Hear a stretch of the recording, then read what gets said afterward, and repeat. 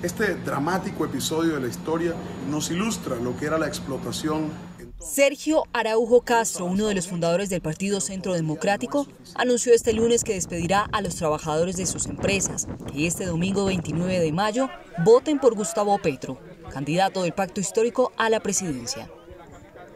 Abro comillas. Mis trabajadores gozan de plena autodeterminación y tienen derecho a votar libremente por quien cada uno decida pero yo también tengo pleno derecho sobre mis empresas. Por lo tanto, un empleado que vote por Petro no cabe en mi esquema empresarial y simplemente se tiene que ir.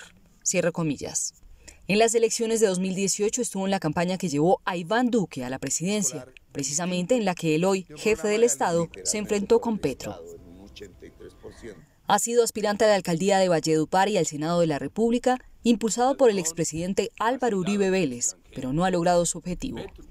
En la actualidad da sus opiniones en varios medios de comunicación, especialmente en radio y en prensa escrita.